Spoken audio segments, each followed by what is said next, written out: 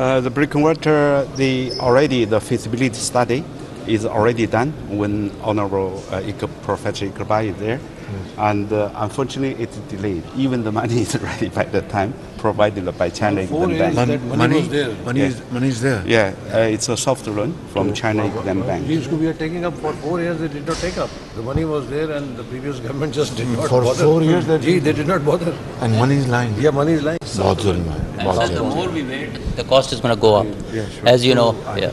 Gigi, we are taking today. up now. Yeah. And uh, the first installment is uh, is there. Uh, the, the money is already there, and the feasibility study there, and the problem is just uh, make the process. And when process. was the study completed? Uh, it's not a study yet. Study.